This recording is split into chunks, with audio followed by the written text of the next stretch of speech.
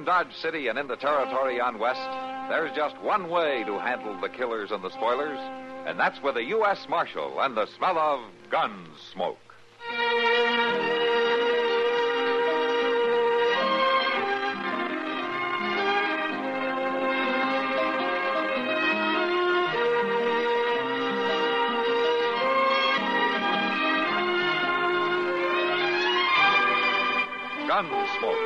Starring William Conrad. The story of the violence that moved west with young America.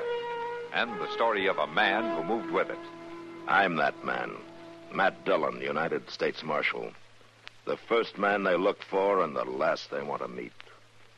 It's a chancy job, and it makes a man watchful and a little lonely.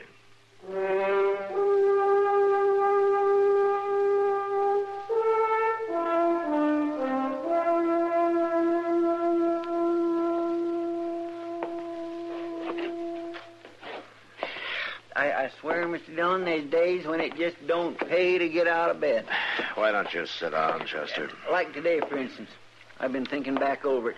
Ah, so that's what you've been doing. I didn't hardly more than get my eyes open before I knocked over the water bucket and like to drown myself Chester, would you sit down? Then I went to put my boots on, and that vinegarone stung me, and my foot's been sore and aching all day. All right, Chester, I believe you. It's been a bad day. And then you take breakfast. The very first thing, Pete, was all out of egg. And then that was the worst goddamn coffee I ever drunk in my whole life. Chester, are we going through your last 18 hours, minute by minute? I'm just pointing out to you what an unlucky day this has You've been. already convinced me. Now, will you sit down?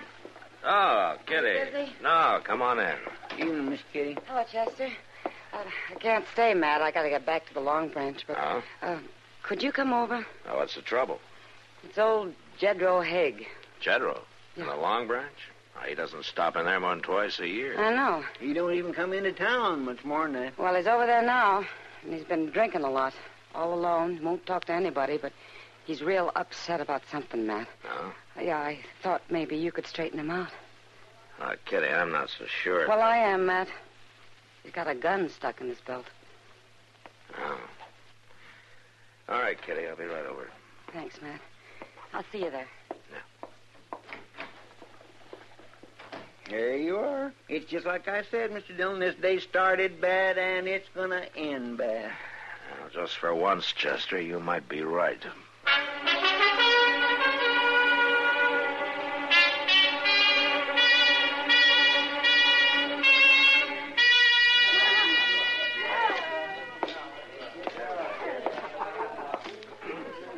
Evening, General. Marshal? Well, I haven't seen you for quite a spell. How have you been? Well, I reckon somebody told you. Mind if I sit down? Yeah, tell me what. Nothing. I ain't got no complaint to make to the law. You know, when a man acts against his nature, like you coming in off the ranch and sitting around here drinking all night, wearing a gun in your belt, I, I know something's wrong. Now, who's the gun for, General? Well, the youngin's back, Marshal. Ramey? Yeah. Come home last night like a bad penny. It's three years now. Where's he been all that time? Well, wherever it was, it ain't done him no good. He was just ornery before and sassy. Now he's mean and no good. Friends he brung with him's worse. What friends? Oh, a couple of fellows named of Carden and King. They're gunmen, Marshal. They got the wild bunch look to 'em. I never heard of him before. Well, not only that, but there's others coming too, Ramey says. And they're all going to run things from now on. So the best thing I can do is keep out of the way.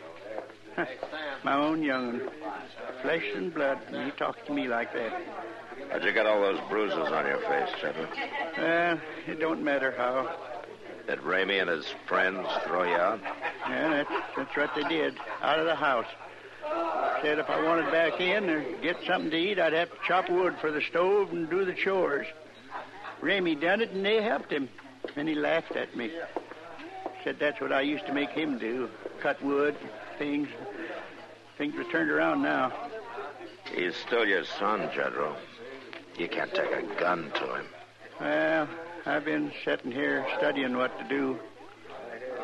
Why don't you sleep on it, huh? I'll ride out there with you in the morning. I got to get them two friends of his out of there, Marshal, on account of Diane, if nothing else. Your daughter? Well, what do you mean? Well, she ain't safe with them around. I seen how they looked at her. She just ain't safe. But her brother's there. He'll look out for her. Uh, he's changed, Marshal. Not that much. I ain't so sure.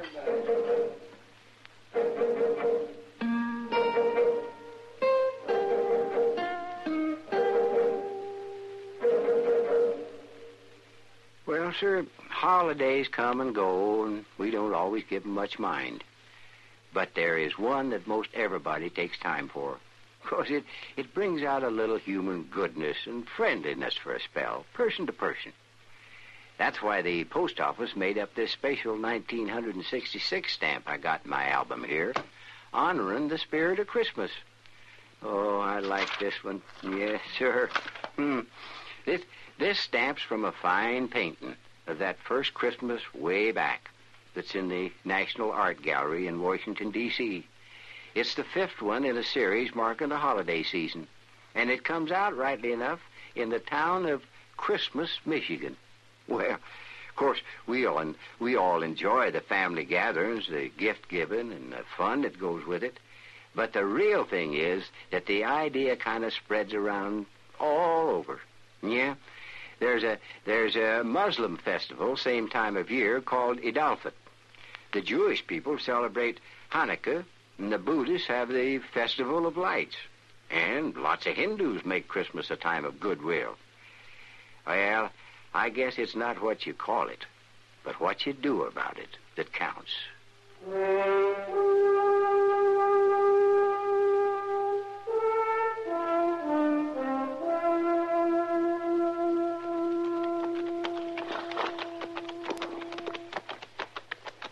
Mighty pretty ranch, Mr. Dillon.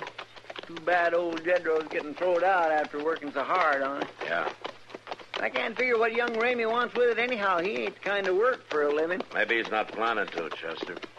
Could make a good base for a gang of outlaws. Outlaw? Yeah, he brought two gunmen back with him. And there's more coming, according to Jedro. Hit the ground.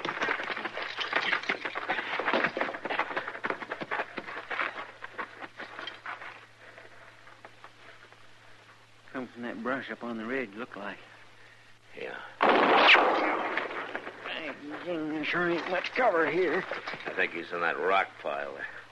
I think maybe you got him, Mr. Dillon. Come on, Chester. Sure didn't count on nothing like this happening. Neither did I. He's just laying there, not moving. Reckon he's dead. Now, wait a minute. There's somebody coming. Yeah. Here. Get around back of these boulders. We'll just let him go on past. There's no use taking chances. Yes, sir.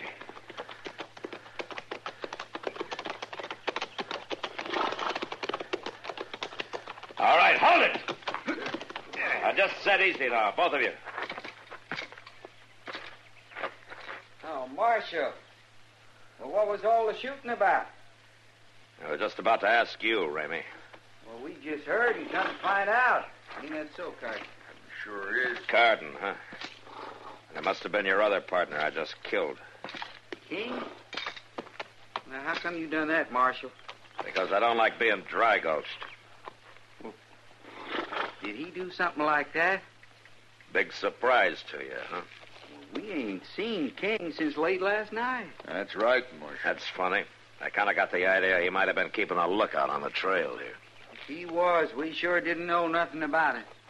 Uh huh. It, must have been drink that drove him to it. Time and again, me and Carden warned him about his evil ways. Where's your sister, Ramey? Diane? What do you want with her? I want to talk to her. About what? She's up at the house. Yeah, but if you think you're going to start any trouble... We'll ride on up to the house. You got any objections? No, of course not. All right, let's go.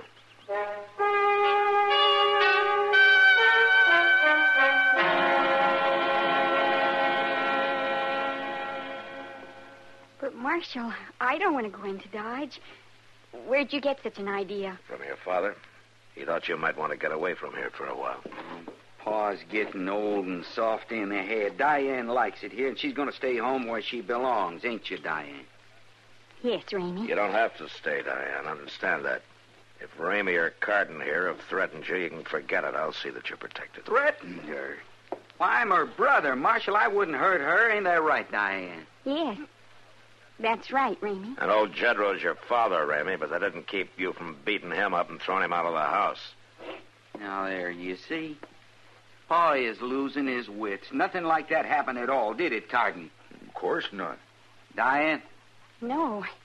No, nothing like that. Pa just left, that's all. Well, I'll go about my chores, Marshal, if it's all right with you. Yeah, sure, go ahead. Well, that take care of your business here, Marshal? Right now, maybe. And Pa didn't make no charges, did he? No. And I say you got no reason to be on our land. I'll see you, Ramey. Real soon, more than likely.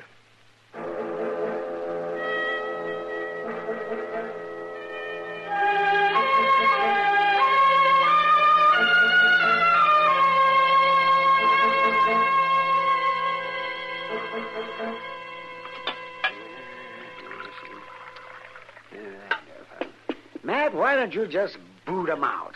I don't figure they'd boot too easy, Doc. Yeah. That's never stopped you before. Ah, this is different. It's a family affair, and there's a good chance they'd slip in here some night and take it out on old Jedro. His own pa. What the tarnation's matter with that boy, Matt? That beats me. Well, what are you going to do? Just sit here pounding that swivel chair and let him get away with it? Not much I can do, Doc. No law against him coming back home. Jedro won't sign a complaint. Says it's a family affair, and he'll handle it himself. Yeah, I'll have to sober up some before he does any handling. All he does is hang around the Long Branch. I sent out some inquiries, but telegraphed. Figured there might be a chance that one of those three's wanted somewhere, and then I'd have a reason to move in on him. Seems a darn shame when the law works to help somebody like them. Uh, so, you know, it might be a good idea to bypass the law on a thing like this, man. No. Now, you do that once, Doc, and the dam goes up. It took too long to get what law we have here to turn around and lose it. Uh, wait a minute. What's, uh, what the dickens is going on up the street? I don't know. Yeah, well, let's get up here. Sounds like a fight. Quite a crowd there, Matt. Yeah. Oh, it's right in front of the Long Branch. Yeah, it is a fight. Come on, Doc. Now, let me through here. One side. All right, move back now. Let the marshal. On the old All right, hold it, Carden. Don't kick him again. I'll kick his head off. Carden! I told you not to kick him. He's lucky that's all I done. He tried to draw on me, Marshal. I could have shot him if I'd been a mind to. But you liked it better this way, is that it? An old man half blind and half drunk. He hadn't ought to jump me, And you hadn't ought to kicked him. You're under arrest. You got no call to arrest me. Carden, I warned most men twice, but after what you just did, I guess once is plenty. You want to fight, Marshal? You got one. Good.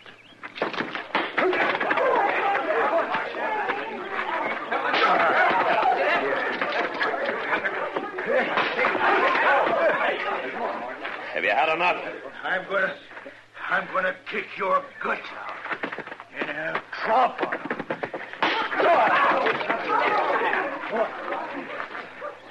Carden? Carden, can you hear me? Well, you're under arrest anyway. When he comes to, a couple of you men bring him down to the jail, huh? You, you all right, Matt? Yeah, I'm all right, Doc. What about Jedro? Yeah, not too bad.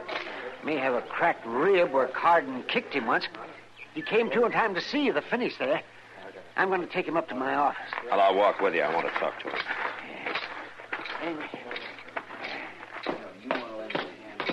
Hey. Uh, can you uh, make it to my place? Yeah, I'm all right. Come on, then. You you ought to have kicked him, Marshal, same as he done me. An eye for an eye, Jed Rose, that it? Uh, he don't deserve no better. You made a mistake trying to draw on him. But I didn't. I just threatened to. If he didn't get out of here and leave me and mine alone. Are you ready to sign a complaint now? Oh, you don't go along with kinfolks, Marshal. I'll work it out myself. You may not be so lucky the next time. Uh, it ain't no use, Marshal. Well, I can't force you to. Mr. Dillon, Yeah, what is it, Chester? hey, we got an answer to one of them telegraphs. Yeah, let me see it. Just now come in on the wire. Oh, well. What is it, man? Ah. Ramey, Carden, and King are wanted in Las Cruces for the murder of a bank guard. They hadn't sent a bulletin here because they thought they were in California. Murder. Oh, my boy wouldn't kill anybody, Marshal. I'm sorry, General. But I gotta bring him in now.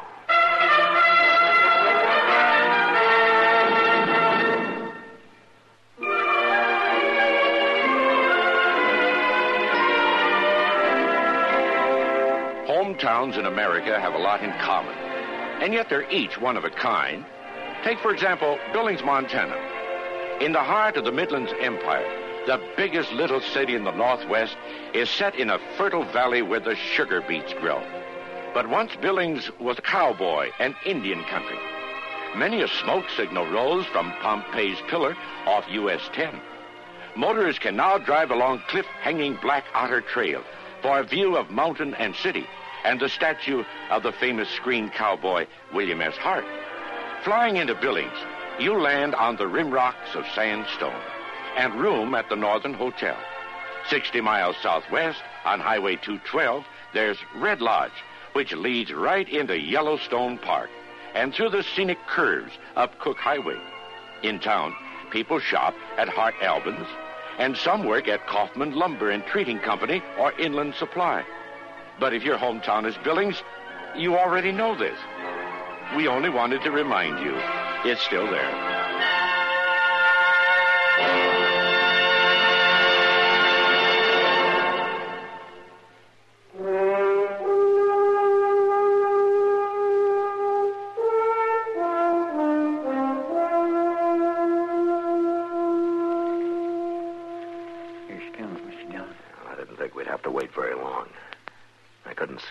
Doing the milking. She's coming right in at the barn, all right. She's got milk pails with her. Well, you stay back from the door till she gets inside, and don't let her yell out and warn him. Huh? Yes, sir. Diane, Why? it's all right. Just take it easy now. Marshal, it's Ramey. You've come here after Grab her, Ramey. Chester. Hand over her. Now, we're not going to hurt you, Diane. But I couldn't let you warn him. It'll be easier on him if you don't. If I can take him without a fight. Now, you understand me? No, no, no, no. Now, Chester's going to take his hand away. But if you try to yell, we'll have to stop you. All right, Chester. Yeah, there now. I'm awful sorry we scared you. What are you after him for, Marshal? It's his home. He's got a right to be here. I'm afraid it's a bit more serious than that now. Yes, but he's still my brother. That's why I stayed to see if I could help him. Didn't he threaten you? Well, yes, but Ramey always did talk mean like that. It's more than just talk, Diane. Oh, it's not his fault, Marshal. It's them two men with Wait a him. minute. Ramey, come on out of that house. Joe Jedro. Yeah. Chester, you stay here with Diane. I'm going out the side door of the barn and see if I can slip up there by the porch. All right, Mr. Dillon. Now, they want me to stand easy here. What's that? You hear me, Ramey? What are you doing back here, you old fool? You got no call to talk that way to your pa. Going back to town and stay there. There ain't no room for you here. I got plans for this place. No, you ain't, Ramey. Well, you're all alone now. King's dead, and Carden's in jail, and the marshal's on his way out here to take you in for murder. Who told him about that? You? No, I, I didn't know nothing about it. If I thought it was you, I'd put a bullet through your head right now. Hold it, Ramey. Brought the marshal here, you sneaking old liar. No, no, please, Ramey, don't shoot. Drop the gun, Ramey! He's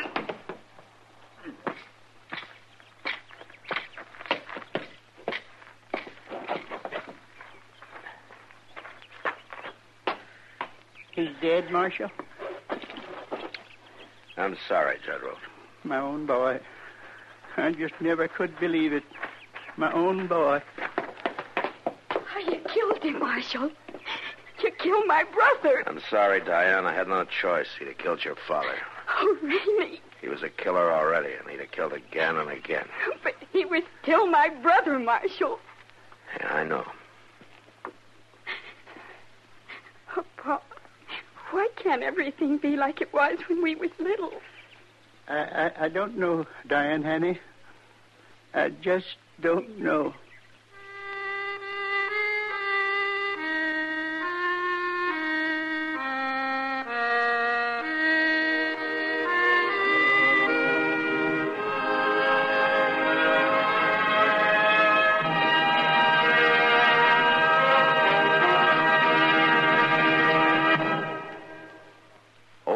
Elijah Cuddlestone, in referring to a favorite bill which was pending but unpassed during election time, had this to say.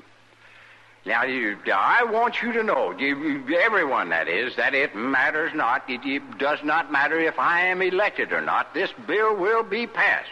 I mean, if, if I shouldn't be elected, I'll only be a lame duck until March 4th. Uh, that is, if I won't be a dead duck until then, and I'll still get the bill passed, a lame duck though I might be. Well, what Elijah was referring to was that up until 1933, members of Congress who failed to be reelected in November still held office until the following March.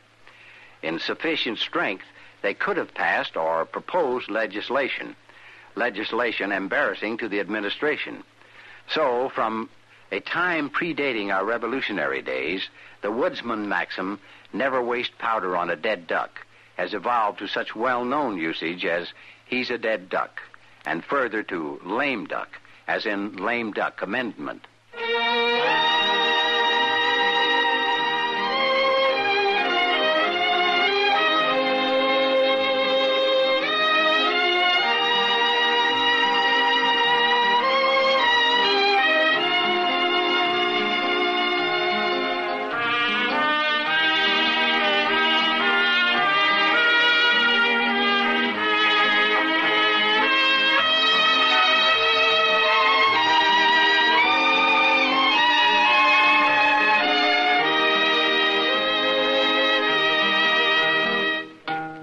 Gunsmoke. Produced and directed by Norman Macdonnell. Stars William Conrad as Matt Dillon, U.S. Marshal.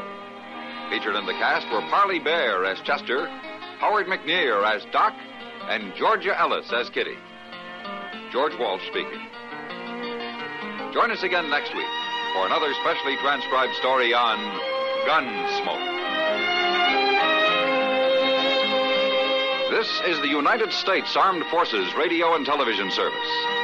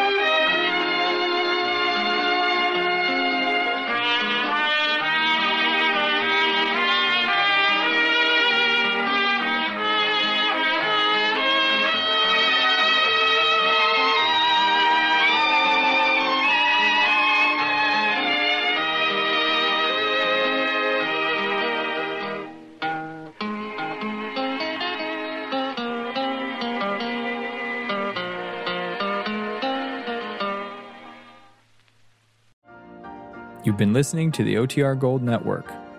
Find more classic radio at OTRGold.com.